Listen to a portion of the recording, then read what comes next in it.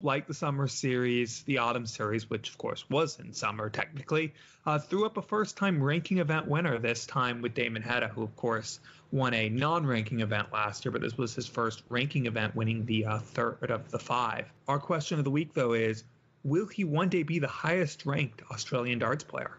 Yeah, this is uh, one of our questions of the week and the one that we're going to talk about on the show this week. And at the moment, we've still got the best part of, I think, three or four days left running on the poll on Twitter. But it's uh, an overwhelming majority going with yes. Seventy-seven percent going with with yes that he is going to one day overhaul Kyle Anderson and then Simon Whitlock to become the, the number one ranked Australian in the PDC. No, getting with uh, 23% at the moment. Uh, we've had one reply so far, a couple of replies actually on the, the tweet that we put out. John Thompson, he said the answer to that question depends on whether Corey Cadby can get his act together, but regardless of that, it's only a matter of time until it's not Whitlock.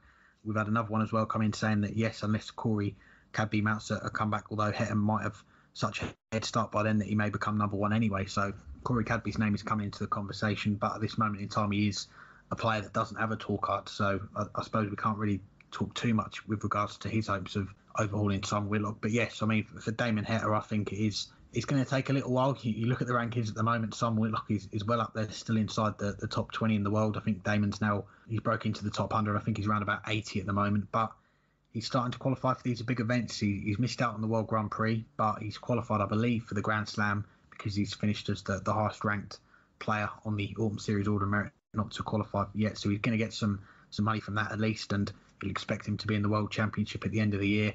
So for me, he's a, he's a player that's only going forwards, and he's a player with a, a lot of ability. I've I've rated him very highly for for a long time. Of course, he won that World Series event last year, qualified for the for the World Championship, and then went through Q School, got through that, and I suppose early doors he, he didn't quite get the runs the, the first three months of the season before it was cut off. We didn't see him go on any big runs at all, but he was putting in some top averages, and he said it himself that if he carried on playing to that level, it would only be a matter of time before he did get the rewards for that. And we, we, say that about a lot of players, and I'm sure we'll talk about a few more of them on this show and going forward as well. That there's some players that are playing well, but not quite getting the, the rub of the green, if you like. But Damon Heta, his rewards have come this week. His his first game of the the, the series, the autumn series, 102 average, lost out in the, in the first round, but came back the, the following day, went all the way, and some some really good stuff in there to beat Michael Van Gerwen, Dimitri Van den Bergh, the the reigning world match play champion, and Stephen Bunting in the semi-finals and, and Joe Cullen in the final eight four in the end. So he, he's put in some some really big performances there.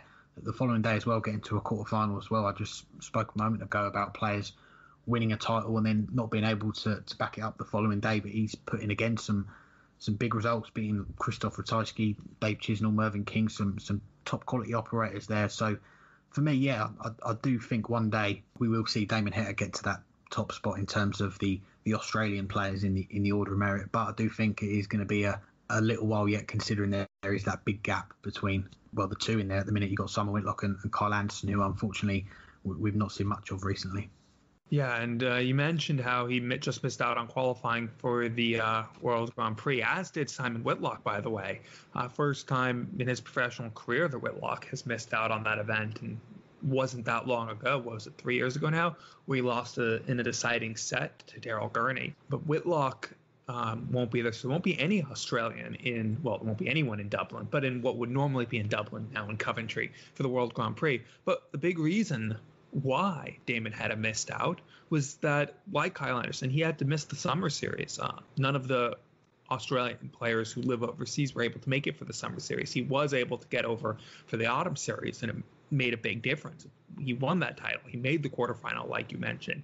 And other than on the final day, where maybe he was feeling a little bit of pressure, knowing that he needed to get a couple of results, most likely to get into the World Grand Prix, he went out with his worst performance of the week um, to Steve West in the first round. It's been one of his worst performances, in fact, as a professional. You can't have it every match, and he was phenomenal for the first four days of the weekend, eh, or first four days of the weekend, first four days of the week, and that's what got him into contention. It's what got him that first title. It's what got him now the overwhelming favorite, according to the poll, to one day be the top ranked Australian.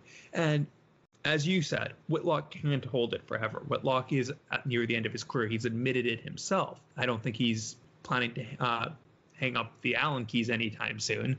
Um, he's still going to keep sharpening those points, but he is on the downward spiral. and missing out on a major TV event for the first time yeah, won't sit well with him and won't give him confidence, even if he put in a valiant effort over the last uh, five days to get into contention, uh, playing uh, or at least getting the best results he had gotten in quite some time because he was well back and he ended up getting himself to within a thousand pounds or so of moving into the last provisional spot. Now, of course, he still has a chance if someone in the top 16 chooses not to show up, and we've seen Gary Anderson just pull out of a few events. So maybe there will be a way for Simon Whitlock to backdoor into it. But the fact that he has missed out and stands to miss out on some other events coming forward means there's just means that gap is going to narrow even though Damon Heta didn't qualify. And Damon Heta has been one of the breakthrough players this year. I think it's just a matter of time before he becomes the top ranked Australian. Even if Simon Whitlock gets back into these TV events, Damon Heta will be there as well. And Heta has a lot more left in the tank than Simon Whitlock does, at least if we look three, four, five years down the line. So I think the answer is yes, regardless how soon Corey Cadby gets back. Obviously, that is a wrinkle. If Corey Cadby gets back and hits the ground running again, it could change things. But I think Heta has that head start and will be in the World Match Play next year, will be in all the TV events next year because he is that good. And that's what's going to see him rise into the top 32 and maybe even further.